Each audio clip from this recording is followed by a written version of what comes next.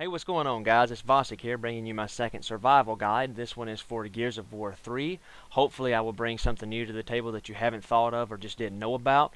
Uh, we're going to piece it up into certain sections here, so sit back and enjoy it. Alright, to start out with a little bit of basics here, if you move around the map and you hold the trigger down a lot, you see the effect called Bloom, which is what opens the reticule up. You have to learn to bu uh, burst fire at a distance so that you increase your accuracy and don't miss any of those important shots. Now in the event that you miss a lot of these shots, there's an ability that's absolutely crucial that you must master. It's called the active reload, which is when you've reloaded your weapon or your bullets have expired out of your gun, a bar will appear underneath the ammunition box giving you three options to reload your weapon.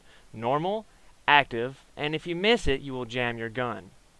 If you successfully actively reload your weapon, the amount of bullets that you have done so will blink in the ammo descriptions box. This ability will last about 8 seconds and your gun will be louder and the bullets will do extra damage. If you've noticed the muzzle flash will di appear differently once it has expired, but be careful if you miss this active reload your gun will jam. If you've successfully actively reloaded your weapon and you switch weapons by mistake, you still have the opportunity to use those active reloaded weapons. Now, once you switch back, the bullets will no longer blink, but if you fire the weapon, you'll notice the muzzle flash is still stronger, and so is the bullets themselves. So don't fret if you accidentally switch your weapon, just switch back immediately and begin firing again, and your weapon will still be active reloaded.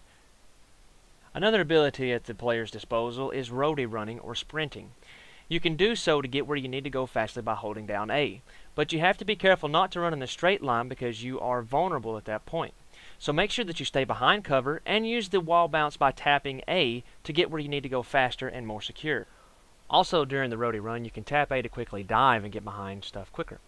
Now a little bit more advanced during the roadie run is if you dive and re-hold the A button back down in the direction of which you which your guy to go, he will quickly make that change without your camera having to pan around slowly, which makes it much more difficult for you to hit and probably frustrate your opponent.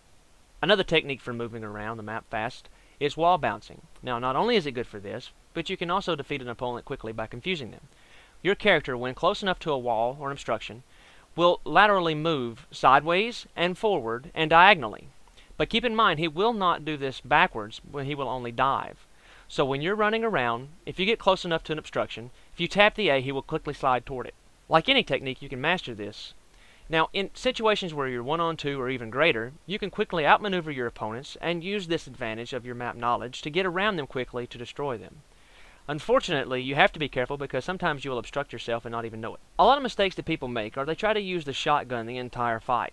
Now, this is a close range weapon and should only be used to do so. However, if you have to do this and you switch from long range medium range, or even to short range fastly.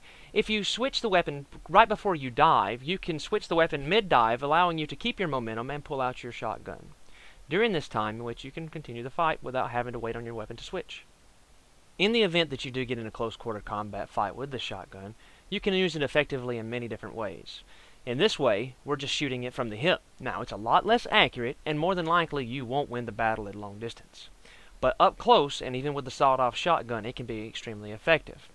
Now, you have to be very careful once you start to aim down the sight, because they, each level of uh, zoom has its on sensitivity, which, for an example, you have the look, the target, and the zoom sensitivity.